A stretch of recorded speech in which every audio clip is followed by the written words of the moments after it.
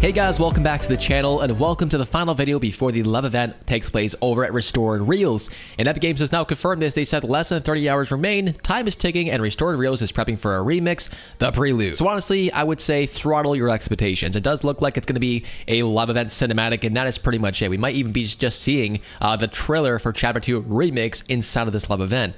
Uh, it could be literally nothing. We have really just no idea. Uh, as far as anything else, perhaps the love event concert will take place around the entire island for all we know. We really do not have an idea as far as what's going to happen during the event because the entire thing is currently encrypted. And so far, all we know is a cinematic of some sort will play on this screen.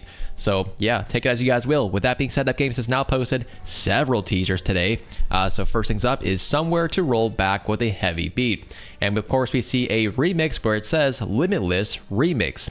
And we see 8 Ball in the background, along with the Coral Buddies and so on and so forth. And uh, on actually on an island, not really sure exactly where this point of interest will be.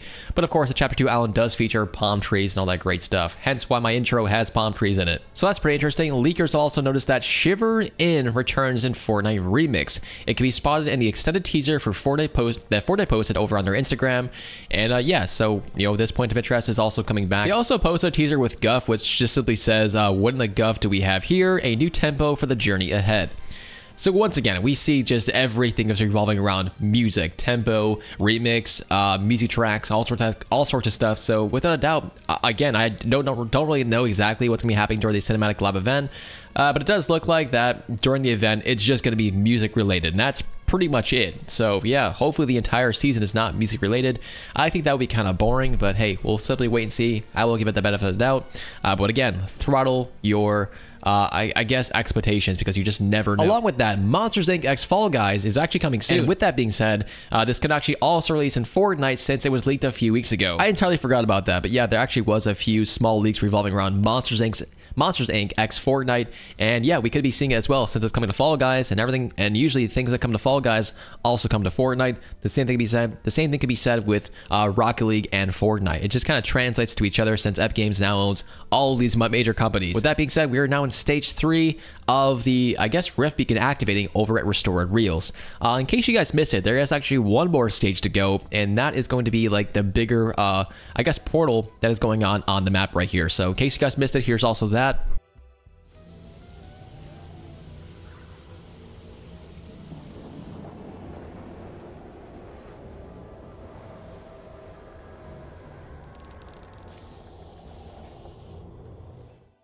So that should be taking place at some point tomorrow before the live event takes place. And uh, yeah, pretty interesting. Uh, along with that, Wenzo said, insanely shocking breaking news, Lazy Lake will return for Chapter 2 Remix. And Shiina also said, huge surprise, Fortnite hints that Pleasant Park returns in the game uh, during next season. Quote, want to go for a walk? Pleasant Park sounds nice.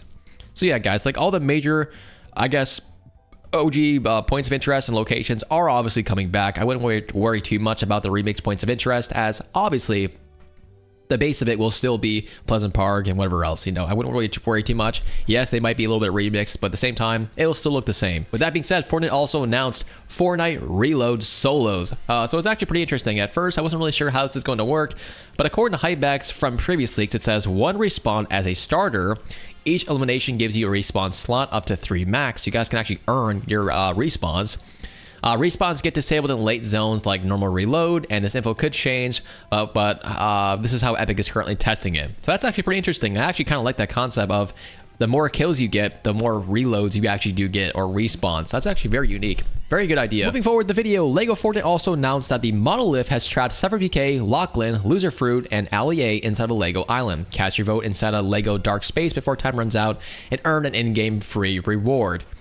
I actually don't know what the free reward is, but I'm assuming you guys can do this very easily. So in case you guys do want a free reward, make sure you guys also do that. Um, the Arcane collaboration was last seen now 1,000 days ago as far as the item shop release.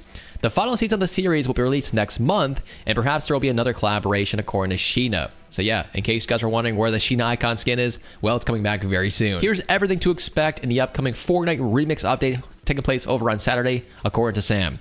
Chapter 2's return, going through seasons 1 through 3, but of course a remix variant. The Battle Pass will be Meow Dao's Guff remix, One Ball, TNTina remix, plus maybe a Fino Chaos Agent. Fortnite Festival Season 6 will feature Snoop Dogg, new main stage, and free rewards, plus a potential lowrider vehicle. Survival medals will be removed, loading screen skins could finally be released, which does make sense. Nike Jordan collaboration, we'll go over that very soon. That's actually pretty interesting. Um, animated decal support, which is not confirmed, and end event taking us into chapter 6 with a lot more surprises. So that's kind of the gist as far as what to expect. Let's talk about that upcoming Nike collaboration and Jordan. So Fortnite X Nike aka Jordan collaboration is now dropping next season. Sneakers can be worn by many skins. There'll be many different sneakers included. Examples are Jordan 1s, Jordan 4s, and Nike Cortez. It's going to be released early during Fortnite Remix. Uh, so yeah, the new shoes cosmetics are definitely coming soon, and that's gonna be very interesting. We'll be seeing like Peely wear, uh, you know, some Jordan ones, which is very very weird to think about. Uh, but yeah, very cool cosmetic. You know, just something new Epic Games is trying out, and I'm really surprised they still have not done like uh, what's it called, weapon charms, or like even hats or necklaces, something like that. Uh, but perhaps during Chapter Six, we'll be seeing all sorts of different customization options to really customize your experience while playing Fortnite. You know, even if your friend is wearing the exact same skin as you, you might have a different variation, such as different shoes on, or a different necklace, or a different hat or a different mask, honestly. There's a lot of potential to customize skin still. Also, in case you guys missed it, it looks like the physics update has been delayed until quarter one of 2025.